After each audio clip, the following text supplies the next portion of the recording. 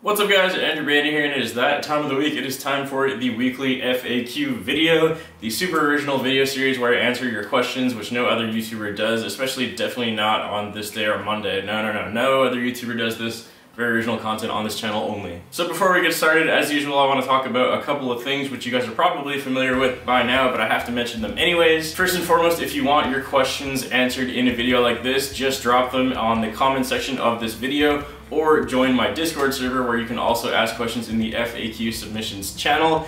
In this video, I've picked some questions from both YouTube and Discord, so once again, you can submit your questions either way. If you're interested in joining the Discord server, it is linked in the description below. I also want to give a big shout out to my current Patreon supporters. Once again, as always, this would not be possible without you. You guys help me out a lot more than you could ever know as many times as I say thank you. And for those of you that have not joined my Patreon, if you're interested in getting audio downloads of basically all the videos I do, including a lot of the ones which I can't put on Spotify and Apple Music. You can get those on my Patreon. Also, if you're interested in mixing, mastering, recording, whatever, I also release all my stems on Patreon, so if you're interested in either of those two things, or a shout out as you just saw, go check out my Patreon. It's linked in the description as well. And that's pretty much it for all the plugs, so now let's get right into the questions. So the first question comes from Ivan Keksiojevik and he says, what do you prefer, death metal or deathcore? Greetings. Thank you for the question. This is a pretty easy one for me. I definitely prefer deathcore, which I'm sure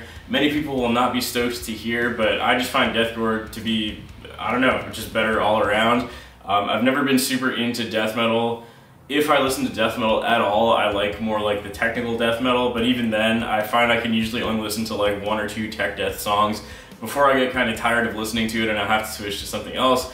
Whereas I could basically listen to deathcore pretty much all day. And as I've said in other videos, the reason I started playing seven string guitars was because of deathcore. When I was, I guess 15 or 16, I got my first seven string guitar to play Whitechapel and Suicide Silence songs. So that's definitely where I come from musically, and that's still what I like to this day. All right, the next question comes from Sekiasi on Discord. He says, if you had time, what would be an instrument you would love to spend time learning, and why is it the didgeridoo?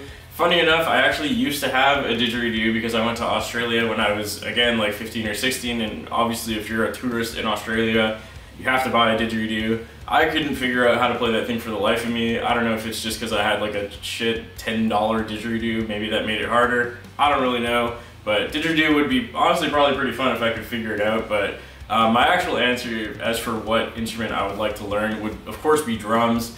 Um, I always enjoyed playing drums in like Rock Band, Guitar Hero when I was a kid, and briefly for a period of time I had an electronic kit here um, because my band used to practice here and our drummer at the time had an E-kit and he just left it here since this is where we practice. So what I would do was I would actually put Rock Band on my TV and I could see the TV from where the drum kit was and I would just put like no fail mode on and then just play the real drums along to Rock Band because that was like the only way I could kind of figure out what I was doing because obviously I don't actually know anything about the instrument. I just, if I could visually, it's almost like reading guitar tabs but for drums. That's how I felt about it. But yeah, playing drums would be sweet. The next question comes from Discord as well. It comes from American Wannabe, and they say, would you put another Evertune in your guitar? So in case you missed a couple of my recent videos, I've been featuring this Solar Guitars 8-string, which has an Evertune bridge, which you can see that big boy on the bottom there. Um, so that's what an Evertune is. Essentially what it does is it makes your guitar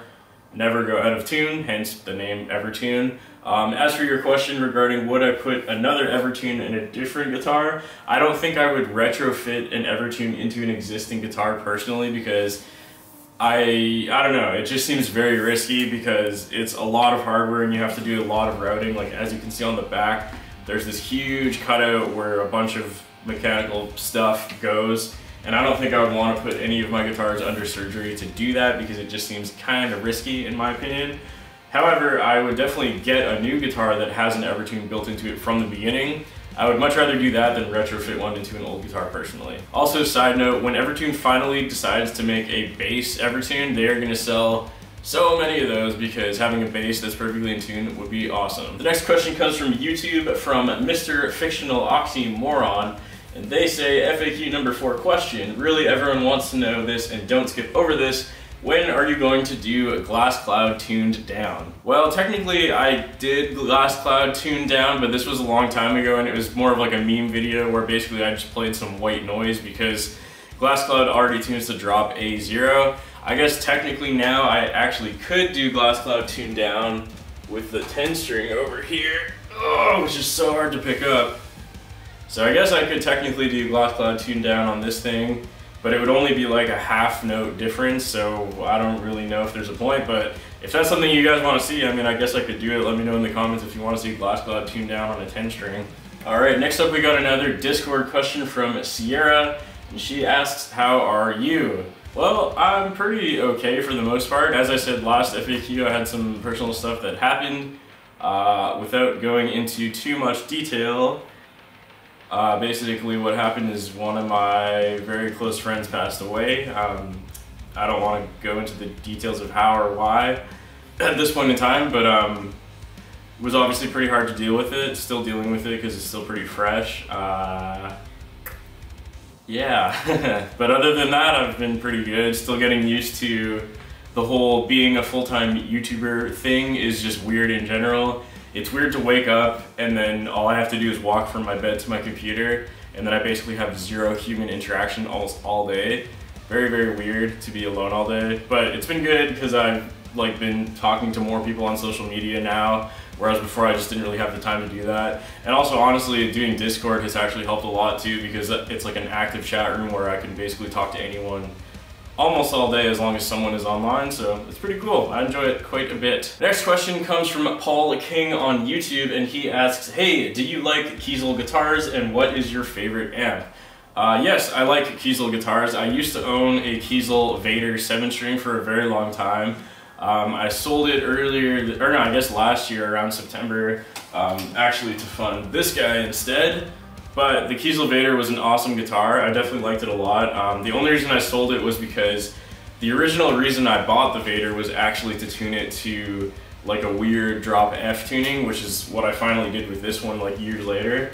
But with the Vader 7 string, um, if I remember correctly, the thickest string that I could get in there due to the headless hardware was like a 70 or 72 or something like that and I couldn't really get that low enough to an F, so I ended up just leaving it in drop A. And then as time went on, I ended up getting a bunch of more guitars, clearly, and now I have like three seven strings and two of them are in drop A, so I didn't need a Vader being a fourth seven string that's also in drop A, because I was, so I ended up just selling it because I, I honestly just sat there for like four or five months and I didn't use it a single time. So I just decided to sell it to get something else, but the guitar itself was awesome. I would definitely get another Kiesel, like if the right opportunity or time arose. Definitely like those guitars. Uh, the other guitarist in Galactic Pegasus, Cooper, has two custom Kiesels and they are beautiful. His eight string is ridiculous. It's one of the nicest looking guitars I've ever seen personally. Um, yeah, so Kiesel guitars are sweet. And then you ask, what is my favorite amp? Um, I kind of answered this in a previous FAQ, but the quick version of that is I don't own any amps, but if I were to own an amp, I would just have the 5153 50 watt by EVH. Or most of the guitar tones that I use are based off of kind of the 5150 sound anyways. I mean, technically, I guess lately I've been using the Fortin Nameless, so I guess having the Fortin Nameless amp would technically be better, I guess, but the 5150 is like pretty affordable and it's like a pretty good amp that pretty much anyone can afford if they save up for a little bit. And I still think it sounds amazing, so I'd probably just get that, honestly. But I have no desire to because that's what the Kemper is for, so. Next question comes from Discord from Evanith, and they ask, what is your favorite nu metal band? This is a tough one because it's a really hard choice between two nu metal bands. It is between either Linkin Park or System of a Down. I think I have to go with Linkin Park because that was the first band that I ever was a fan of and they are nu metal, or at least their old stuff was nu metal and I still like it to this day, so I'm gonna have to go with that. The second choice would be System of a Down, like I said. They're like a very, very close tie. I, I don't know, I kind of like System of a Down more nowadays, but since Linkin Park was the first nu metal band, or the first band in general that I ever really, really was a fan of, I kind of got to give it to them on this one, honestly. All right, the next question comes from YouTube from Kyron Walters, and they ask, should do a what if Andrew Baena played in standard tuning video? play a bunch of Galactic Pegasus and one more slice riffs in standard. Yeah, so on the last FAQ video, the last question I did was about standard tuning and I made a little joke about it. And then I had a bunch of you guys comment saying I should do standard tuning as like kind of a meme video, I guess. Uh, yeah, I mean, maybe I could do that, but I literally don't have any guitar in standard tuning. I would have to use like a seven string and drop A and just like not play the seventh string, I guess. But technically, I guess it's doable. Actually, no, it's not because none of my riffs are in a standard tuning ever. Like, it would have to be like drop D, and then like maybe I could see about doing that, which maybe that would be a fun video. I don't know. Well, I'll think about it. We'll see. We'll see. All right, and the last question of the day comes from Discord once again, and it is from Taylor Pyramids, and he says. If you had to pick one guitar and one set of pickups, what would they be? Like trapped on an island type dilemma. And then his second part of that question is do you manage or how do you manage your time working on content like a job? Do you give yourself set times of the day to work on content for YouTube? So for your first question, I feel like I've answered this before perhaps, but since I'm not sure, I'll answer it again. My one guitar that I would, oh fuck, that's a tough one, man.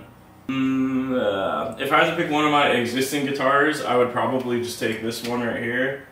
Because once again, this is my most sentiment, I don't know why I'm holding it upside down, but this is the guitar that has the most sentimental value to me. So if I had to pick one of my own guitars, it would be that. Um, and if I had to pick like any guitar, honestly, I would probably still pick something like this.